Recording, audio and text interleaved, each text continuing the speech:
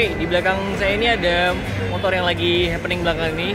Ini adalah Honda Monkey Dragon Ball kerjasama antara Honda Thailand dengan Toy Animation. Ini dibuat langsung oleh rumah modifikasi dari Cup House. Uh, Honda Monkey ini dibuat terbatas hanya 100 unit.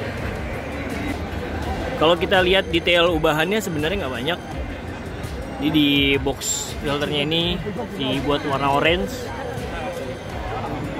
ada tulisannya Monkey X Dragon Ball. H2C Design. Nah, di bagian tangkinya dibuat dengan motif karbon. Ini ada bintang 4 ada gambar naganya dari bola naganya Dragon Ball. Nah dari atas ini ini ada nomor serinya. Nah seperti kalian bisa lihat ini adalah nomor satu dari 100 unit jadi cuma 100 unit aja yang ada di yang diproduksi di dunia.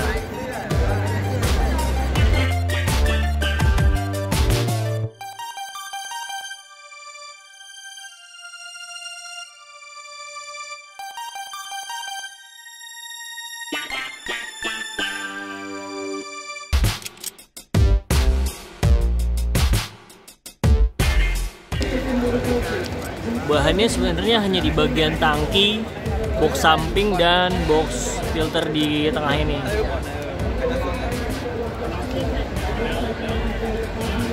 nah kalau buat kalian yang penggemar Dragon Ball pasti tahu di cover komik Dragon Ball edisi ke-28 itu ada Kamesinin lagi naik motor dengan wujud seperti Honda Monkey ini mungkin itu juga yang jadi alasan Honda Thailand untuk membuat Honda Dragon Ball ini.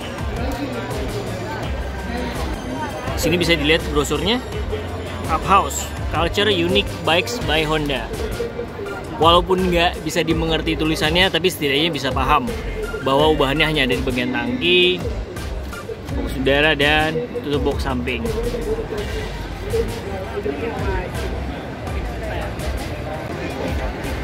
Honda Monkey Dragon Ball yang cuma dibuat sebanyak 100 unit ini dijual dengan harga 119.000 baht atau kalau dikonversi ke rupiah sekitar 56 jutaan.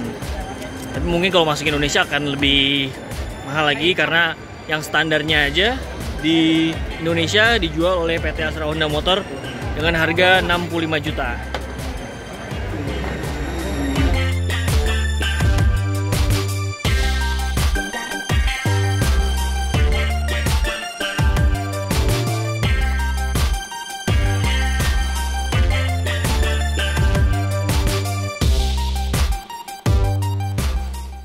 Oke teman-teman, jadi itu tadi video singkat seputaran salah satu produk yang dipamerkan di Thailand International Motor Expo 2019.